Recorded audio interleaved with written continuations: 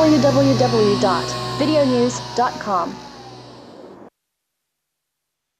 こんにちは、はい、こんにちは。えー今日は2014年の3月14日の金曜日、えーこれが674回目の丸劇の N コメと、でまあ丸劇の本編の方は今日は、まあ、絶望の裁判所。これまあ本のタイトルそのままなのでちょっとそのまま使うわけにもいかないんだけどまあ裁判所が絶望的な状況にあるという話をまあ最高裁の調査官や事務総局にもおられた元裁判官の方に話を聞いたと。いうことですね。最初に一言感想言います？裁判所については。まあ一部はですね、僕たちがこの番組でやってきたことと、まあ、かなり重なっているんですが、まあ、驚くべき情報が一つ、まあ、これご本にあることでもあるんだけれどもありましたよね。裁判員裁判制度の裏の目的は何だったのか、えーここでは申しませんけれども、番この番組で扱った際にも全く予想しなかったような目的が読みが浅かったね。僕らは原発化をするために言い訳に使うくらいまでは読んでたんだけど、はいそうですね。もっとくだらない話でした。本当にくだらないねあのかつての、ね、陸海軍の権益争いのようなセクショナリズムそのものでしたね仰天しましたまあだからまあ制度にいろいろと欠陥があるのはまあいやいやね当然かなっていうところもあったということですよねいや。本当に戦前戦中と何も変わってないんですねそれはまあ船橋さんのそのうん先週の丸劇のテーマでもありますね。うんえーまあ、教訓を学んでないということですね。それでね、えっとじゃあ本編の方もぜひあの結構今日は面白い話なので見ていただければと思いますがあの N コメはね1本目は、まあ、あの今週今日が3月14日で一応今週311の週だったんですね。火曜日かな、えー、311でしたよね。それでまあ世の中はこぞって3周年企画みたいなのやってパタッともう終わっちゃいましたけどそれでね、まあ、メディアのいつものなんかこう免罪符何周年だけやる免罪符みたいなところはあるのかもしれないですけどね、えーいずれにしても311があったと。で、まあ、僕らはちょっと前倒しで船橋さんとその先週の番組でやったんだけどもねちょっと今日は N コメでやっぱ311、えー今週だということでニュースでちょっとコメントしたいことがいくつかあります。それでねまあ、なんと311、えーについてはですねいくつかちょっと相談しご紹介しなきゃいけない映像があるんだけどまず最初にね、えーこちらを見てください。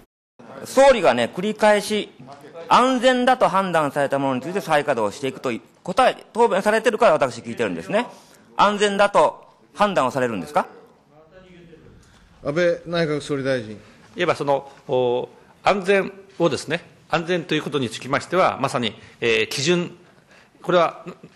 えーある一定の基準をお超えればですね、えー我々は安全だという判断がなされたというふうに考えているわけでえーございますが、その意味におきましてですね、その意味におきまして、えー最も厳しい、えーレベルでの規制基準に基づいて徹底的な、まあ、審査を行って、えーこれに適適合すると認められた原発については、えー再稼働を進めていくということにしております。総理が世界一厳しい基準だと言うんであるならば、アメリカのようにですね、避難計画ができない場合、作ってもそれに実効性がないと判断される場合は、再稼働させないと、そういうことでよろしいですか？安倍内閣総理大臣。えーまあ、まず、まあ、最初にですね、えーこれ判断をするのは、これ避難計画ではなくて、えーまあ、原子力規制委員会が、まあ、世界で最も厳しい、まあ、基準にのっとってですね、えー審査を、まあ、進め、漫談、えー安全であると、まあ、こう判断した段階においてですね、えー我々はあ再稼働を進めていくことになるわけでございます。えっとね、宮根さん、今のが、まあ、3月10日の参議院予算委員会、だからまあ311の週だったんだけど、まあ、3月10日、その前の日に、とにかく再稼働するんだと。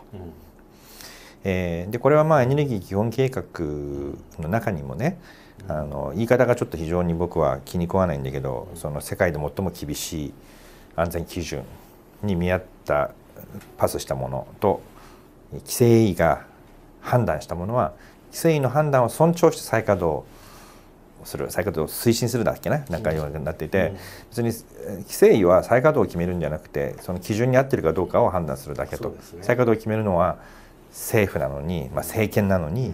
えーもう規制委が安全だって言うんだからそれを尊重せ尊重せざるを得ないみたいな感じの書き方になってるとか非常に僕はあの弱っちいなと思ってるんだけどね。マ。スメディアのやっぱ頭が悪いんですよ。ね、だから規制委が審査しているのはいわゆる一時対策に相当する部分に過ぎないのでね。二次対策三次とりわけ二次対策は漏れないということで外ね敷地の外に三次対策は漏れた時に避難できるということだけども国際標準ではですね避難の計画がもう立てられないのであればアメリカがそうですけれども原発は終わり。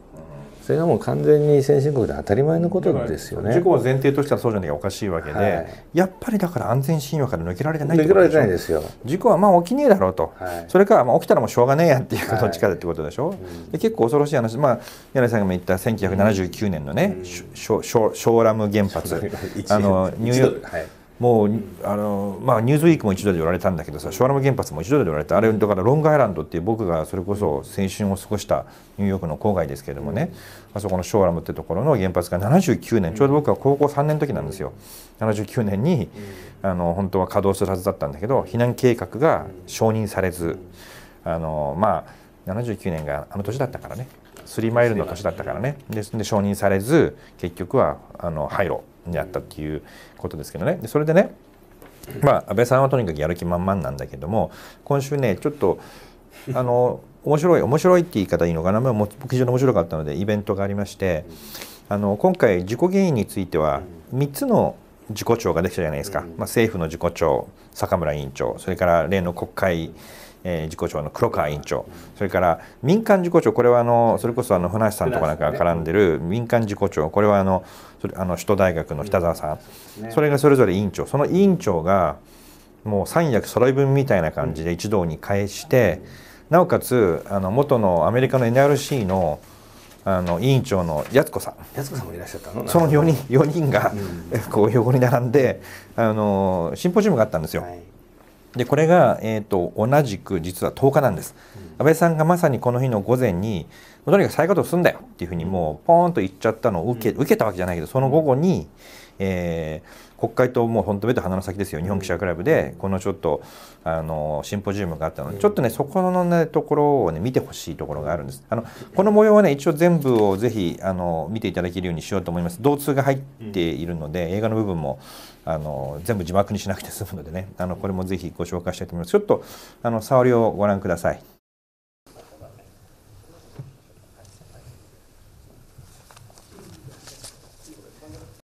再稼働するという絶対的な必要性があるんであれば今やっこさんが言ったように皆さんに知らせるさっき言ったように IAEA の誤送の防御っていうのはまだほとんどやってないところがたくさんありますあると思いますよ。それなぜ言わないの？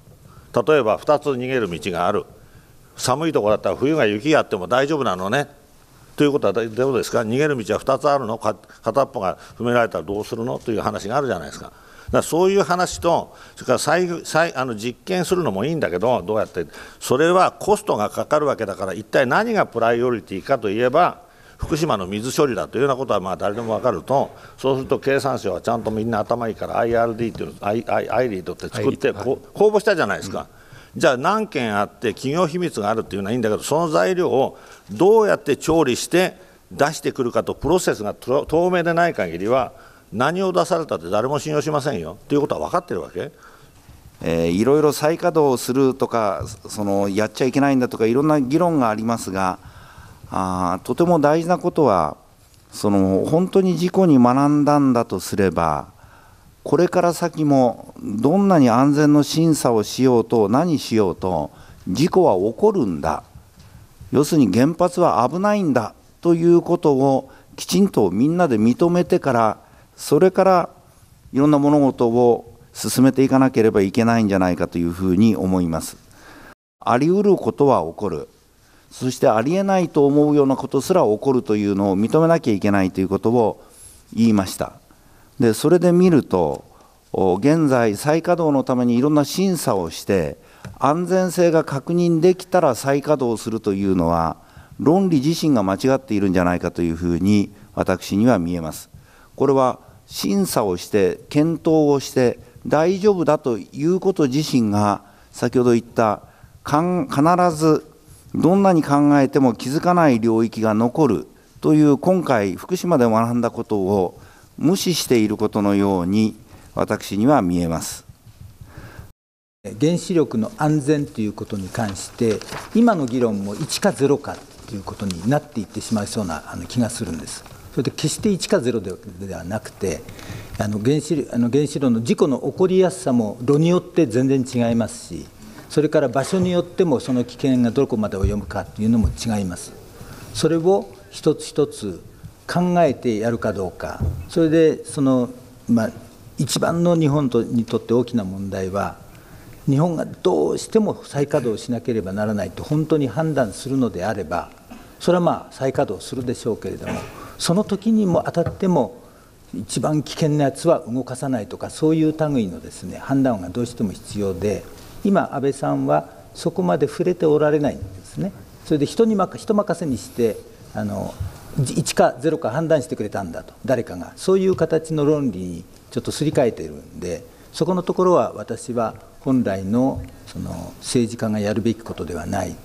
つまりそういう判断が原子力規制委員会から下ったときに基準に合うとか合わないとかいうそれだけで0か1かって判断してやっていくわけではなくてそれがどれだけのそのインパクトをそのプラスの方向に持つのかということとそれからネガティブな大きさっていうのがどれがどれだけ大きいかを考えてプライオリティを考えてやっていくべきだというふうに私は思います。あの今宮台さんね、えーと、黒川清、えー、元国会事故調委員長それから畑村陽太郎元政府事故調委員長それから北沢光一、え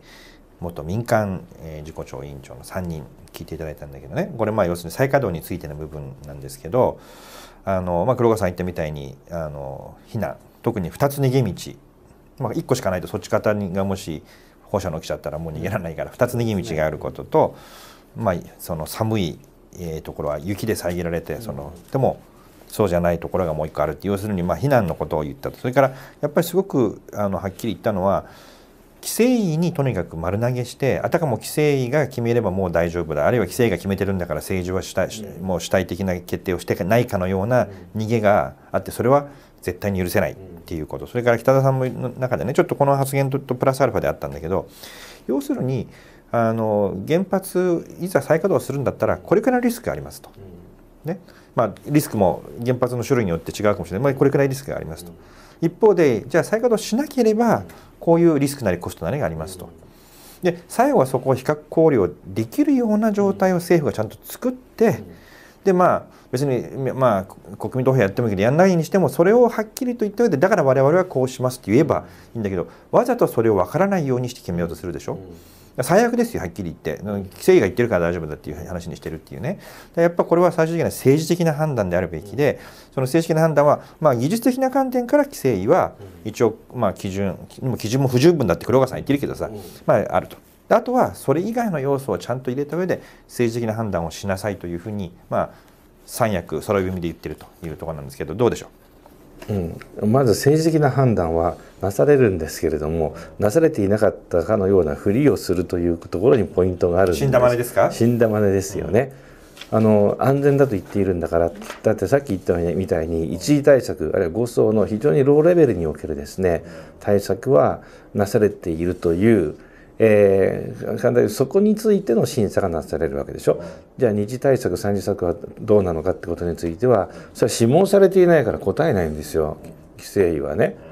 でそこを判断するのは最終的には政府でしょ。でそれをごまかしてあの規制委が安全と言ってから稼働すると言っているのはまあそうねまあやっぱりごまかしか、まあ、安倍総理の頭が悪いかどっちかなんですよね。でもう一つ、まあ、安倍さんが頭悪かったとしてもですね周りの行政官僚たちは問題の本質をそれなりに分かっているんですね。ということはねこれはもう先ほどのあのジモさんがおっしゃったようなね民主的なプロセスを情報公開のもとで推し進めるということをできるだけ回避して最初にあるもう再稼働という結論に向けて何が何でも突き進むべく情報も覆い隠すあるいは問題の本質もごまかす、ね、あるいは安倍総理に適当なことを言わせて。でまあ基本的には国民をだまくらかすということですよね。はい、だから宮根さんも突き進むって言ったけどね。突き進むっていうと一見さそっちにもうなんて言うんですかものすごい強い意志を持って進むように見えるけど、うん。うん、むしろまあ先週の船林さんの話を受けて言うと逆で実は再稼働というのは究極のインディシジョンなんじゃないかと、うん、何にも決めなければさすがにここは再稼働でしょうになると。今止まっているのになぜか止まった状態を続けるためにはディシジョンが必要なんですよ、うん、あるいはディターミネーション強い意志が必要なんですよ、だけど回すんとはほっときゃ、まあ、当然回すでしょっていうふうに持っていくところがもしかしたら太平洋戦争に突入したと一緒究極のインディシジョンを続けると、うん、でもそれはまさに僕が以前から言ってるね、コンボイ動き出したら止まらないっていうやつなんですよ。ね、つまりこの日本社会は動き出したら止まらない。そう不合理は知ってる人は各所にいると、ね、しかしもう仕方がないんだ、ね、それはあの飯田哲成さんがおっしゃってましたよね。原子力村の中にはあの基本的には再稼働例えば再稼働再処理図式がもう無理だってことは知っている人がいっぱいいると、ね、しかしあのもうあの今更彼は飯田さんの言葉今更やめられないっていうふうにまあ多くの人が言うのだと、それ言っちゃおしまいよってやつ、そうですよね、うん、コンボイとか今思うとくだらない映画喜んで見てましたね。すっげえくだらないですよね。トラックがやったら走り回るだけっていうね。でも喜んで見てましたねコンボイね。懐かしいですね。まあいいや。それでまあそれが今のあの再稼働の部分ですね。でそれでね、まあ、ちょっと続けて見ていただきたいんだけど次がねちょっとテーマとしては、うんやっぱりその事故後の政府の対応っていうものを見が日本の何を明らかにしたの？これ先週のテーマに近いんだけどちょっとあの全員じゃないんですけどもあのこれは黒,、えっと、黒川さん田村さんちょっとこちら見てください。面白い話だと僕は思ったので。はい、で世界は日本が何をしてんのかなっていうのはよく理解できないのね今ね。3年経っても理解できない。それはそうですよ。あんな事故めったに起こらないんだから。だけど一番大事なことは世界は実は知ってたのね。専門家。例えば日本の保安院のトップはアマチュアの経産省の人は1年ごと交代でローテーションしていく長官ねっていうこともみんな知ってたしそれから日本はディフェンス・インデプスという IA がいろんな事故からね学んで護送の防御ってしてるのもやってるんだけど日本はやってないねって知ってましたよ。で日本の担当者、まあ、経産省の人が IA 言ってますけどどうしてやらないのって言うと、まあ、日本では起こらないということになってなってると言われて非常に納得ができなかったって言ってました。それぞれの人たちが自分たちは一人一人がアカウンタブルというのは自分のポスト肩書きあるいは社会での責任を果たすということなんですよ。だどういうふうに言うか自分たちが自分たちのポストでアカウンタブルなやり方をすればいいんですよあんまり言うとすぐにクビだとかねいじめられると思ってるかもしれないけどやり方を考えろということなんです。社長になってすぐに役所に相談行くなんてとんでもない話でね自分がやることをどうやってやるかということを結果で責任を問われるということがアカウンタビリティですそれがないということが世界中にばれてしまったということ。事故の原因が明らかになっているかっていう問いかけいつもされるんですが原因って何ですかっていうのも言わないといけないと思うんです。直接原因でどこの部分の何がどう壊れていたかっていうのがはっきりしないとそうすると原因が分かったことにならないとそう考えるんならまだ当分本当の原因は分からないということになります。しかし本当にそうなんだろうかって考えるとそれはもう非常に些細なことで全体としてはもうほとんど全部分かってるというふうに思います。でそういうふうに分かってるというふうにしてみるとそうすると物理的にどんなことが起こったかというのが本当の原因だというふうにはほとんどならないで組織や個人そういうものがどんなふうに考えてどんな判断をしてどういうふうな行動をとったかというそこの中に本当の原因を見つけるんでないとこれは学んだことにならないぞと。だからまるで炉の中が全部そのあからさまになってそいつが見えてこないと本当の原因は分かんなかったんだというようなあ言い方論理考え方というのは僕は間違いだというふうに思います。そういう意味ではその直接原因の一番細かいところは分かっていないかもしれないけどそれ以外は本当はあらかた分かっている。だけども今黒川さんの言ったように分かっているけどそこに近づいていってきちんとそれを伝えようとする努力が足りないんではないかというそういうふうに僕も思います。今回の事故で、えー、みんなが学ばなきゃいけない一番大事なことはやはり見たくないかもしれないけど見なければいけない事柄っていうのはあるんだよとそしてそれがやってないとそれからあと現象が起こった後にどんなに考えたり議論したり法律作ったりみんなで討論したりしても事の進行の方が早くて絶対に追いつかないんですよね。いやちょっとねとても大事な指摘だなと思ってね、まあ、要するに皆さんこれその自己調をやったのでものすごいたくさんの人からヒアリングを行い資料もいっぱい見て、で当時に起きたことっていうのをもう手の手のように一応全部把握している方々なんですよね。でそれでもともとその自分の専門的な分野を持っている人たちがそれと参照した上で、まあ、自分たちなりの価値判断をしてるんだけど、まあ、黒川さんはもう知らなかったのは我々だけなりと。日本人だけなりと。もう外国外がもう知ってたと。こんな実は日本のは全然危ないっていうことがねでも大丈夫ですよなんてこと言ってたけど全然大丈夫じゃないっていうふうに思ってたっていうふうにまあ言われたっていう指摘があってやっぱり自分たちできちんとそのまあ見てないということとそれからそれはアカウンタビリティってこれその指導的な立場にある人の責任だけじゃなくて我々一人一人にたもうアカウンタブルだったっていうようなことを言ってるのかなと思いました。それから畑村さんの話ねこれ先週の話にすごいやっぱり符合してて、物理的な原因が何だっていうことと、ね、そもそも船井さんの話じゃないけどもうこれ黒川委員会の結論にも出てきたメイドインジャパンマンメイドエラーだって言ってるわけですよね。だから結局物理的にはこうなってこうなってこうなったっていうの原因。まあそれも実は分かってないんだけど実を言うと地震か津波かっていう意味ではねだけどそこじゃなくてもっと大きな意味での原因っていうねこれはまあ失敗の研究の畑村さんなので 原因というのはもっと大きいんだと。ね。いうことを前提におっしゃられてると思うんだけどあのそれを全然まだやってないじゃないかと。ね、いうことででそこで再稼働を言ってるっていうところにさっきの話につながるわけだけど大丈夫かっていう、まあ、分かりやすく言うと、ね、何かがどうして起こったのかっていうことをいうことと何かが起こった時にどのように振る舞えたのかっていうことと、まあ、2つの局面があってたとえ何かがあったにしてもそのどう振る舞えたのかっていうこと次第ではですねもっと事故の、まあ、処理がねうまくいったはずなんですよ。っていう問題ですよね。でそのその倉橋洋一さんがおっしゃってたことはね実はこういうことです。その事故が起こった時にその後どのように振る舞えるのかってことに関するキャパシティが実はその事故が起こらないようにするためにどうするのかっていうことにも全部関わってくるんですよね。その前からそういう問題なんですよね。うん、うん、だからちょっとこれはやっぱりそれができてないというふうに専門家のそういう分野の専門家の方が見てもやってないっていうことは、まあ、やってないんですよそれ。うん、でもねこの日の朝ですよ、安倍首相の、いやもうとにかく規制がいつからやるんですよっていう のを軽く言っちゃいましたからね。ちょっとそこの温度差があまりにも、あの大きいなと思ってちょっと最後にこれだけ見た上であの柳さんのコメントもらいましょう。最後にねまあ、原発そのものについて、えー、とこれはね畑村さん北澤さんそれから靖子さんの話ちょっと聞いてください。例えば10マイルにするのか50マイルにするのかそれで範囲が広くなったら大変だっていうけどそういう議論をして次に再稼働をしてそこで本当に事故が起こったらどうするんですかっていうのがあるんです。分かっていて避難の計画を立てるのが大事だったんですがいや計画はいいけれど本当にやってみてそれで逃げることが本当にできるのかできないのかっていうのの検証が済んでからでないと計画を立てたらいいっていうのは前も同じこと言っててダメだったじゃないと。だから計画立てたっていうんじゃなくてやってみてよかったっていうのになったら初めてそれはきちんと効果をもたらすような計画になっていますねという。だからやってみたらきちんとそれを計画立てたらやってみてそれで初めてその正当性を証明してみんながやるようなやり方にしなきゃいけないけど今は全くそうなっていません。ですからいつまでたっても同じことが起こると思います。で日本では30キロ圏でやったらもうめちゃくちゃが起こるっていうけれど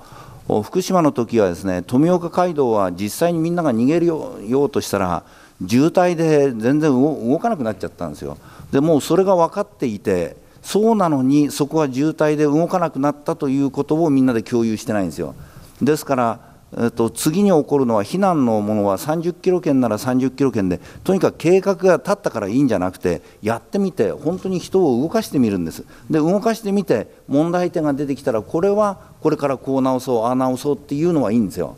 しかしそれをやらずに計画が検討したらこれでよかったっていうのは今回の事故を起こす前に安全性の審査をしていたっていうのと同じ論理で同じおかしさがそのまま残ってるんじゃないかというふうに思います。これから再稼働を日本が迫られるというようなご発言がありましたけれども、一体誰が迫るんでしょう、誰が最終的に決めるんでしょう？って考えてみると、それは最終的には国民であり、そしてその中間においては選挙で決まったあの選ばれている国会議員、あるいは政府が、まあ、その選挙までは彼らが決めていくわけでありますけれども、その動向をやっぱり後ろからコントロールしているのは国民であってその国民がどう考えるかというのが非常に重要でそれが今この3年経ってですね日本をこうやってゼロの状態に保ってるってことはこれはもう大変なことが起こってるというふうに思うわけであります。ただし今の時点ででは本当に再稼働は迫られているのかということはよく考えてみる必要があってですねあの事故の確率はゼロではないということを考えますとそれは当面はおそらくは起きないでしょうしかし起きるかもしれないもし起きたら日本は世界の笑い者そして日本は主戦度の国であったっていうそういう歴史しか残らないっていうそういう国になってもいいのかどうかっていうこととのトレードオフだということになるわけですね。原子力の事故というのはもう不可避であると避けられないという考え方であります。原子力を今後とも使い続けるとするならば社会は事故が起こってしかもこの発電所の外のコミュニティに影響を与えるような、そういう事故が起こり得るような原子力は認めてはならない、あるいは経済全体に影響を及ぼすような、そういう事故が伴うような原子炉を認めてはならないということになります。そのために新しい安全基準を作らなければならない原子力を使い続けるとするならば、そしてまず国民を守るということを真っ先に考えなければならないということです。それでは何を変えたらいいのかということです。まず原子炉の設計を変えるのか、すなわち、えー、多くの部分がその汚染されるという可能性を少なくする、これは確率ということではなく、物理学によって少なくしていくということであります。大量のその放射線の漏れ、あるいはその放出ということを広がるということをが避けられるような、そういう物理学的なことを考えていかなければならないということです。それからさらに事業会社が説明責任を持つ、そして事故が起こった際にきちっと責任を持たされるということであります。So there has to be a clear understanding that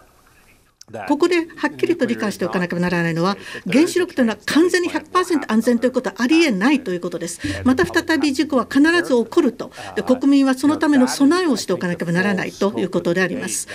やはりそれも入れて議論を総合的にしなければならないということであります。すなわち、ある特定の弁が開くのか開かないのか、そういうことを議論するのではなくということです。日本でも他の国でも同じですが、社会の問題であるということです。社会として原子力という技術のメリットをどう考えるのかということです。すなわち十分重要であると。でリスクがあってもそれは仕方がないと思うのかどうかそれは受け入れられると思うのかどうかそこが肝心な議論のポイントだということです。宮台さんね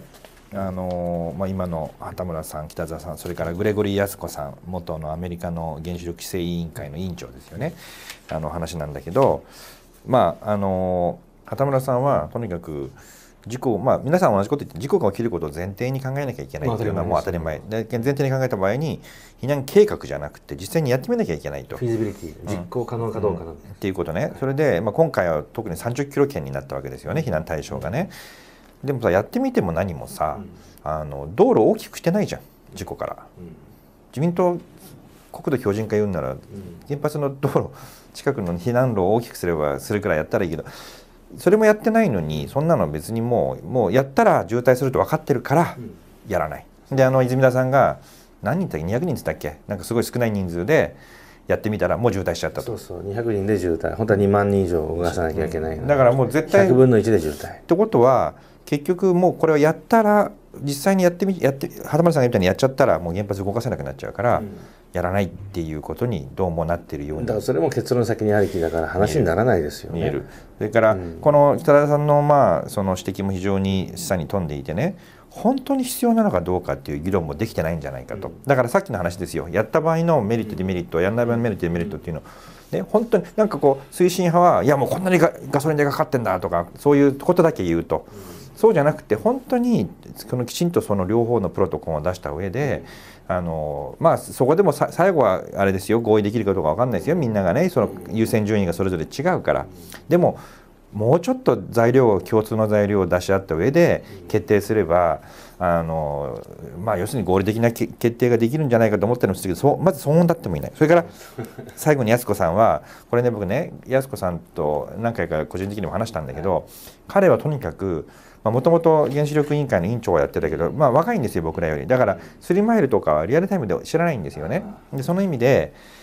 今回の被災地を見て衝撃を受けたわけ。自分が我慢レギュレートしている原子力がいざ何かあったらこんなことになるんだと。でまあチェルノブイリで見たことあるかもしれない。あれは特殊な事故だと思ってたわけですよね。今回は単に電源が喪失したら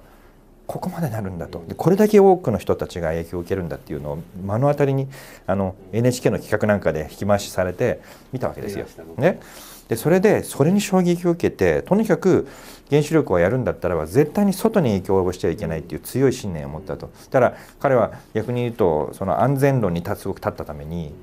追い出されたんですよ「あのやらしいよ。そんな安全とか言うと原子力村からもうこいつはダメだ」っつって。だから、まあ、その意味ではあの非常に日本の日本の実際を知っている数少ないアメリカのレギュレーターの一人なんだけどね。両親に満ちた、ね、満ちてる、うん、でもやっぱ彼はもうはっきりと100%安全はありえない。必ず起きるんだから、うん、そうなった時に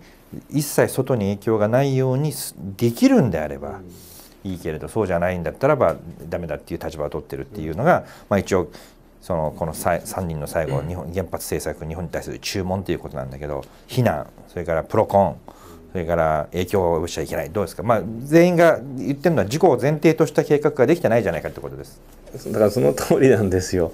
あのね一番象徴的なのはね化石燃料代がこんなに高かってるじゃないかっつうなら一のですね事故でどれだけの金がかかってると思ってんだ国民の税金含めてね。であるいはもうその電力会社本当だったら東電日本以外の国だったら当然潰れていて破綻処理されているような状態だし実際このような事態が起こればですねあの2度目の2度目のというかもう一度起こった事故については電力会社はもちろん破綻処理ですよ間違いなくね。でそういうことも分かってるのかっていうことなんですよ。ね、でおかしいでしょなんで化石燃料代の話してるんだと。原発の事故がまた起こった時のそのまさに、まあ、実際には予測不能計測不能収集不能かもしれないけれどそのコストの甚大さ、まあ、民間の保険会社がもう一切ですねそれに関わる事故に関わる保険を作れないようなですね恐るべき被害でそれをねもし埋め合わせようとした時にかかるお金と比べた時に化石燃料代なんてへみたいなものでしょう。でもちろんそれによってですねまあここでもやったことだけどもねまあ、経済活動は影響を受けるかもしれない。しかし福井一の事故でどれだけ経済 的な影響を受けてると思ってるんだみたいなことですよね。つまり、うん、あの山下さん的にはそれは少数の人たち全部押し付けられるそうなんですよ。で見えないようにされて原油高はみんなが背負わなきゃいけないからっていう話でしょ？そうね。だからそのようにしてあの見えるものが見えないようにされてる。でそれはあの僕らもねあのキーあのキーワードで使ってるけどこれ畑村さんがおっしゃったんだよね。あの結局僕たちは見たいものしか見なくて見なきゃいけないものを見てないと。それ猫ですよ普通は。そうですよね。だからねそのことがねやっぱ僕はすごく恥ずかしいことだしそれを放置する統治権力のね、まあ、チーフになるものはですね本当に恥ずかしい愚かしい存在だと思いますね。うん、原発をね再稼働するにしてもしないにしても、うん、なんとかこれくらいのレベルの注文をクリアしてしてできないかしら、ね、できないかいやだからもうこれ再稼働かどうかじゃなくて、要するにこういうことをとにかくやろうよと、別にあの今日出てる方たちはもちろんあの反原発の急先鋒でも何もないんですよ。ちゃんとこれやろうよと。そうですね、でやった上で最終的にプロコンを出した上で政治的に判断しようよって言ってるんだけど、今一番欠如しているのはその能力がないことが露呈しちゃったわけでしょ？まあ、皆さんがよく言う原発をやめられない国っていうことがそこなんだと思うけど。あのね二次対策三次対策に関するね特に避難計画第三次対策に対するですね、まあ、関する実行可能性調査をちゃんとやって実行できることを確認する。でね実行できなかったとするでしょ？で実行できなかったってことが明らかになったっていう状態ででそれでね世論に問うて再稼働を決定すればいいんですよ。それでも再稼働が必要だと思うようなね経済的な主体あるいはそれをまあサポートするようなピープル民衆がいるんだったら再稼働をすればいいんですよ、それはそれで。そういう国だっていうことですよね。しょうがないですよね、はい、ねだから再稼働するんだったらね非難できないっていうことははっきりさせた上で再稼働してくれよってことです。うん。だから、欺瞞とか隠蔽とかごまかしのレベルなんですよ、まだ。あの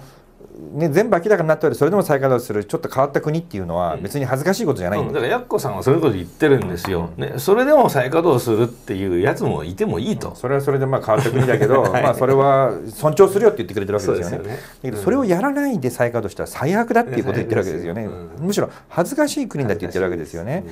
ちょっとそこは今非常に大事な場面に差し掛かってるのかなと、ただね3年経って自己調なんてもう半年で終わっちゃったわけですよ、それからやってないんですよそれをね、どうしたらいいですかねこれ。要するに結構簡単なことなんですよこれ。あの、さっきの泉田さん200人って400人なんだけどやっぱ400人でやってみたら渋滞したよっていうもうデータがあるわけでしょ、だから柏崎刈羽は実際はまあ、避難はむずできないっていう前提ででも再稼働するのかってことを問わなきゃいけないわけですね。でも他にはもうちょっと避難できるところあるかもしれない、もうちょっとあの人口が少ないとかね分かんないけど、でもそれでもね、リボさん。おっしゃったその恥ずかしいっていうことについてのセンスがなり足りなすぎると思うんですよ。あのね美しい国日本とか言っているそのことを日本をですね恥ずかしい日本にしている首相っていうのがいるんですよね。でまあその彼の恥ずかしさっていろんなところにですね、まあ、露呈しているわけですよ。例えばねいざという時にフリーライダー扱いされないでアメリカにちゃんと軍隊を出してもらうそのまさに安保条約第5条問題のためにはですね集団的自衛権をあの解釈会見で容認する必要があるっていうこの安倍首相のまさにそのことを含めたある種のデタラメな振る舞いによってアメリカのマスコミ世論やね議会世論がですねこれは日本はダメだわっていうふうになってきちゃったのででもちろんこれあの中国の方と日本の人間たちのロビングパワーのね違いもあるけれどもでその結果その安倍ちゃんの矛盾した振る舞いですよ。いざとなった時にまさに安全保障安保条約第5条問題で安倍ちゃんが存在するからですね日本を助けてもらえない可能性があるんですよ。安倍リスクになってるわけです、安倍リスクになってるんですよ。ね、いやもっと恥ずかしいことはいっぱいあってねあの対米従属で行くのかね対米自立で行くのかっていうのが重要な選択ですよ。対米自立の場合にはまあ重武装化っていうのは不可欠だけどそのために必要な憲法改正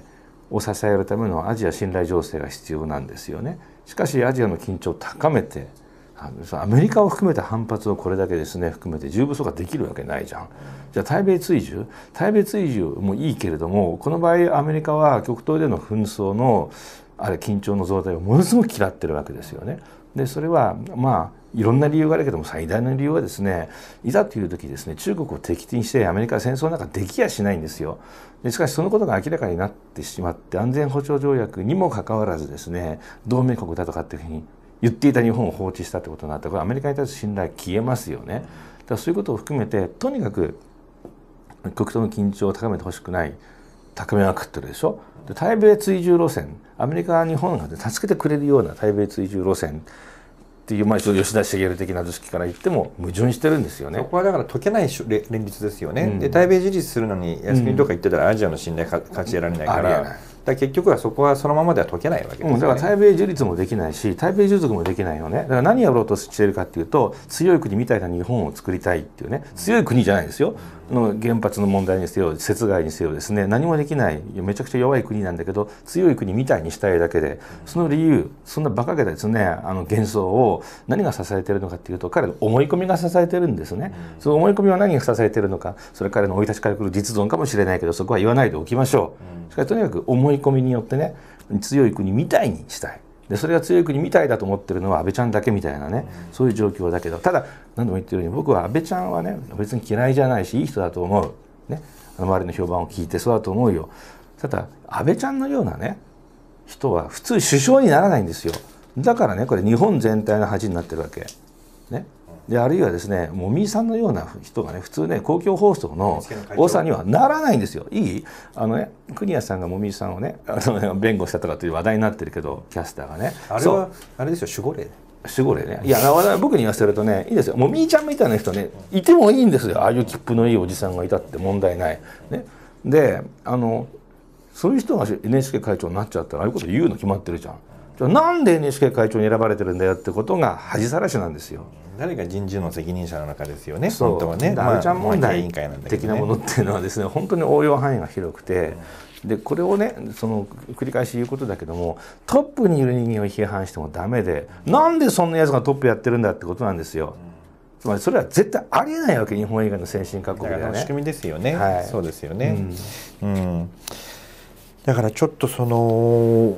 まあ原発のねこの今のその見てても結局これができない国っていうのはね、さっきの宮根さんの例えばアジアの信頼って意味でもやっぱりガバナンス能力基本的なガバナンス能力にやっぱりかその欠落しているってことを見せてるところがあるじゃないですか。でそうするといざとなったら暴走してもおかしくないですよね、そういう国はね。だからやっぱりそうなるとそういう意味での信頼もやっぱりそのおぼつかなくなるっていう可能性あるでしょ。でちょっとそこはねあのまあ先週のあのなんだっけ船橋さんの話それから今週のこのお三方プラス靖子さんの話聞いてても課題はもうはっきりしたと思うんですよ。原発再稼働か否かではないと、やんなきゃいけないことやってないことが問題だと、やることをやった上で再稼働っていう結論が出たならそれはそれでまあもう結構だということなんだけですよね。だからちょっとそこはでもどうやらそれそういうことをやらない理由は再稼働先にありきだから、とやっちゃうとできなく再稼働できなくなる可能性があるからやってないと。でね311絡みでねついでに言うとあのこれは原発ではなくて復興の話なんだけどもね。やっぱねもうまあほら富岡のあのい市村さんだっけ？の話なんかも今回ちょっと聞いたんだけどもね。やっぱね、まあ、どこももう東北全部ですよ。結局もう全部防潮堤とかでっかいのを作るわけ。でそれに何百何何億何十億かけるだけど全然ねそれはもう地元のそのそれが本当に必要かどうかっていうようなその意見集約もしないまんままあ下手すると町自治体の町は欲しいって言ってるかもしれないけど住民っていうのは必ずしもそれを全然ねその聞かれてなくてまあ要するに強靭化要するにそこは公共事業やりたいわけですよ大型大型公共事業をね。でどうもあの本当にそのコミュニティとかあるいはそこの生活が成り立つようなための支援の方に行かずにまあはまあ言ってしま箱物ですよ。まあ、防潮堤箱物って呼べるかどうか知らないけどでっかい壁を作るとかそっちの方にとにかくコンクリートですよ。でだからそこはやっぱりそっちをやりたい動機があると。原発も実はやりたい利権的政治的な動機があると。だそれがやっぱり先立ってるだけじゃないかっていうふうにも言えるわけですよね。だからちょっと情けない状況かなと思って、うん、外国人にそれを説明つけるとしたらやっぱそそんな話しないと説明がつかない。要はそれをやることで利権を持ってる人たちが権力の中枢経済も含めてたくさんいるから結局は止まんないんだという以外にそれがあとはもう日本人バカだからさしか説明のしようがなくなっちゃう。あるいは子供っぽいからさわけ分かってないんだよとかしか言いようがなくなっちゃうでしょ。うん、でも両方だと思うけど僕は。そこは。あのね、だからそこもさっきの安倍ちゃん問題にちょっと似た面がありますよね。だからどの国にもね主戦度あるいはベニスの商人のシャイロックみたいな存在はいますよ。でそれも数少なくはないですよ。そのアメリカなんか見ても分かるように相当な数いるんだと思うんですよただそういう人間たちがですねあのどれだけの社会的な影響力を持つかどうかってことがやっぱり問題でなんで日本ではそういう人間たちの影響力を牽制する力がね全くと言っていいほど働かないのか。っていうことがやはり僕は外から見ると本当に不思議だと思うんですよね。でまあそれはここでもやってきたことだけれどもやっぱりその公共事業依存体質そのものを問題にせずにですね公共事業依存こそが町おこしだっていうふうに言い続けてきた人たちの自明性っていうのはやっぱりありましてねそれやっぱ簡単には変えられないんですよそれでずっとやってきたら。でまあここでもやったことではあるけれどもねそう陸前高田だってですね南相馬もいろんなところそうだけれどもあの実際にあの住民たちが引き受けていろんな計画を作ろうと思ったってですねそんなことしたことがないからどういうふうにやっていいかがわからないんですね。それでいろんな形で外から人が入ってあのある種知識社会化をすることでようやくできるわけだけれども東北全体で考えるたら、まあ、被災地全体で言ったらマンパワーが全く足りないんですよね。でそうすると従来の行政的な枠組みに従って物事を進めようとする人間たちのルーティンにはやはり勝てない。抗えないんだね。そうなんですよね。うん、うんはい、まあちょっと今日はね、あの三役それもぜひ見てほしかったので、ちょっとですね、うん、でねそれできれば全部見てほしいので、あのサイトに上げるようにします。トータルで2時間くらいのあのビデオですけど、まあ安子さんがそれに絡んでね、あの非常にあの面白かったと思いますので、あのせっかく311の週だってこともあり、なんかテレビはキャスターがこぞって被災地に入って、もう本当皆さん大変ですねっていうふうに被災地被災地の方々に寄り添っているような企画ばっかりですけど。そうですね。ただそのお三方それ組の結果ねあの図らずも明らかになったことは日本は恥さらしであるということただこの一言につきますね。このままだと恥らしになっちゃうから、はい。まだ遅くないので、ね、あれだけの事故があったんでやっぱりそこからこれだけ学んでで学んだっていうのは単に原発の細かい基準だけじゃなくて物事の決め方とかそういう部分もやっぱり今までの決め方では、まあ、さっき畑原さんの話ね、うん。物理的な原因だけじゃなくて、まあ、ソフトっていうんですか？ね、でもそれはね工業授業もハードだけじゃなくてソフトもやんなきゃってあのか片田先生がねね要するにハード依存すると死ぬんですよ。ソフト依存 ソフトの方を強強化しなきゃっていう話をして、ね、防潮堤防波堤だってさ100年に一度のね津波に耐えるように進みましたっていうのが十数メートル二十数メートルでしょ。でねそうじゃなくて1000年に一度の震災に見舞われたわけじゃないですか。ね、で何考えてんだってことですよ。ね、あと片田さんがおっしゃったように想定はねその所所詮ですねその自然災害に満ちた地球のことだから必ず破られるので想定が破られた時にどうするのかっていうところで津波天然湖ね。逃げろ。その事前の想定を、ま、絶対信じちゃいけない。そこでできる最大限のことをしろ。そして率先避難者として避難の口火を切れと。空気を破れってことですよね。素晴らしい教えでそれ。逃げろ。高台高台に逃げ込めと、うん。あの知ってます？この、まあみ皆さん iPhone 持ってるわけじゃないから、あのこんなことはあるかもしれないけどあの iPhone のあれでね、高台サーチっていうあれアプリがあるんですよ。今いるところから、そのな何何メートルって入れると、一番近いところの何メートルはどこかってすぐ出る、うん、でもそれ見ると東京のあの下町のあたりマイナス2.4メートルとかあって 0メートル地帯ってやってあったでしょ？すごいですよ。でもそういうのもあるくらいだから別にもうこれだけじゃないけどあのとにかく高いところに逃げろっていうのが教えでしょ、ソフト宮ソフトで。城県も中積大地だけどねそれこそですね津波の記憶なんか全くない10キロ以上離れたところまでですね津波が押し寄せてるんですよ、10キロ以上ですよ。です誰も想定していないこと。川を上がってくあ上がってったんだよね。ね。今回はね、うん。はい。まあちょっとあの311絡みでこれはぜひ見ていただきたかったのであの今回お伝えしました。あのぜひあの何ですかこの全体をねあの時間があったらあの見ていただきたいと思います。あとなんかまああの伊吹衆議院議長がねね。実はさ311の日にあの国会で311のあのまあにはっきりと将来の脱原発を見据えてっていうふうに言って、まあ、今一応党籍外れてるはずなんですよ確か議長っていうのはね。外れなきゃダメですね、だけど、まあ、自民党の、まあ、元幹事長ですよ、ね、それがあの原発だって言っちゃったってことで党内からちょっと批判が批判が出てる伊吹文明ってねずる賢い元大蔵官僚だと思って嫌いでしたけれども。直した？いい人かもしれないですね、ねえ。ちょっとね、うん、まあでもそれはまた批判が起きるっていうところもなんかなと。うん、ただまあ脱原発かどうかよりもとにかくさ今日出たようなことをちゃんとやってくれることの方がはるかに大事かなというふうに思いますね。はいじゃあちょっと,、えー、とこの親はここら辺にしたいと思います。